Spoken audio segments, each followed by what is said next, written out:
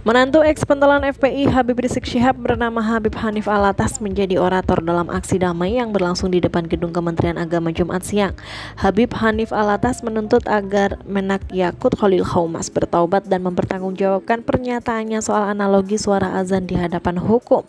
Menurutnya negara tak perlu mengatur soal azan karena itu adalah urusan masyarakat. Urusan volume adan dan toa daripada masjid dan musola biarkan jadi civil society biarkan jadi lokal wisdom biarkan jadi kearifan lokal biarkan jadi kesepakatan antara masalah masjid dengan warga sekitar saudara betul? Di tempat umat Islam mayoritas maka minoritasnya harus menghargai mayoritas.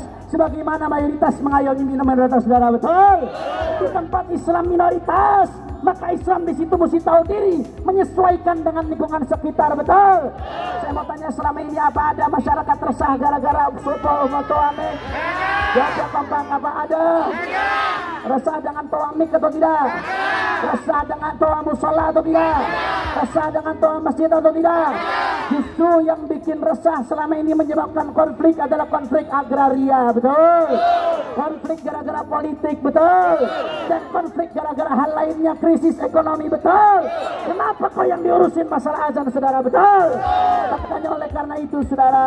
Oleh karena itu umat Islam di mana pun berada maka umat Islam harus semakin kencang untuk menyuarakan azan. Harus semakin lentang untuk menyuarakan azan. Karena itu panggilan Allah. Karena ketika mati itu yang akan dikumandangkan di kuping kita saudara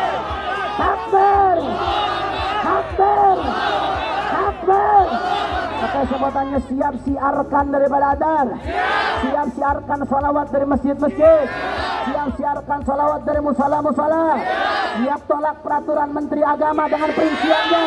Takbir. Udah itu biarkan jadi civil society saudara. Nggak perlu negara masuk terlalu dalam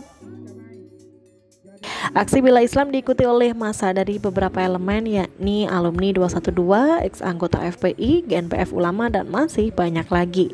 Aksi dijaga ketat oleh polisi dengan mengerahkan 2.756 personil. Sejumlah kendaraan pengamanan demo pun juga berjejer di sekitar lokasi untuk mengamankan jalannya demonstrasi.